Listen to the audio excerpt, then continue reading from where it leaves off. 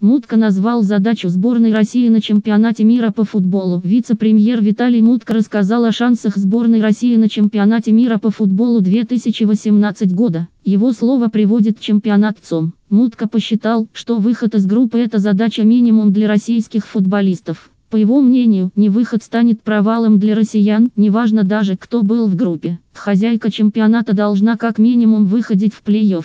Правда, уже в 1-8 финала можем встретиться с испанцами. Хотя можно и с Испанией играть. Чиновник вспомнил чемпионат Европы 2008 года. Вот на Евро 2008 чувствовался дух коллектива. Позитивные ощущения были и перед Кубком Конфедерации. Я почувствовал, что настрой у команды мощный, нет безразличия. Коллектив сложился, лидеры появились, отметил он. Чемпионат мира 2018 года пройдет в 11 городах России с 14 июня по 15 июля. Российская сборная сыграет в группе с Саудовской Аравией, Египтом и Уругваем. Больше важных новостей в телеграм-канале Лента Дня. Подписывайся перейти в мою ленту новость размещена на сайте вседоски.ком. Это бесплатный сервис по массовому размещению объявлений на десятки досок объявлений. Как продать быстрее? Размести объявление сразу на все доски объявлений с помощью сервиса вседоски.ком.